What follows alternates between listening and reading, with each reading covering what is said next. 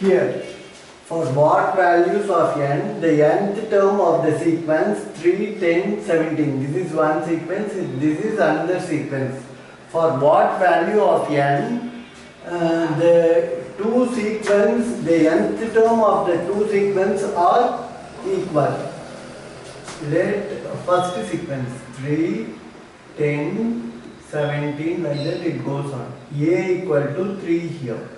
D equal to 10 minus 3. D equal to 7. Therefore Tn equal to A plus n minus 1 into D. Tn equal to A3 plus n minus 1 into D is 7.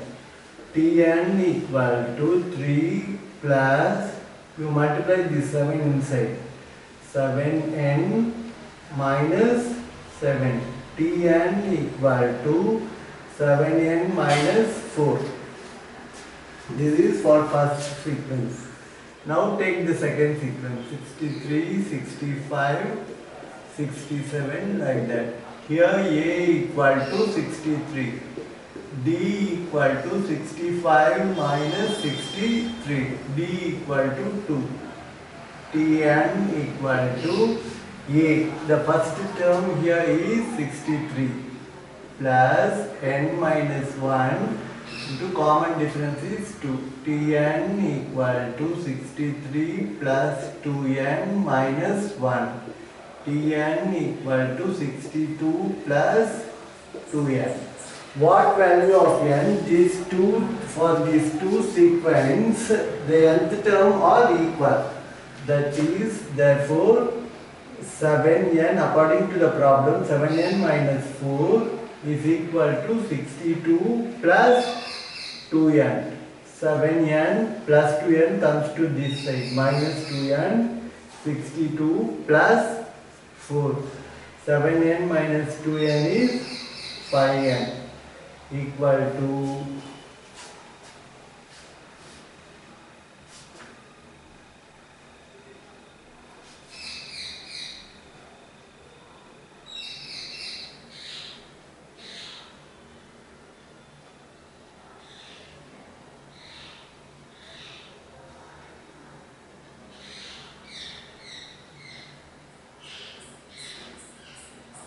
sorry.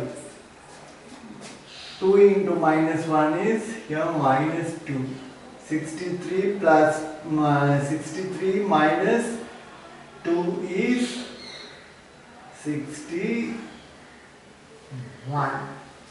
therefore here also 61 here also 61 therefore 5n equal to 61 plus 4 is 65 Therefore, n equal to 65 by 5. Clearly, n equal to 13. The 13th term of these two sequence will be equal. 13 is the answer.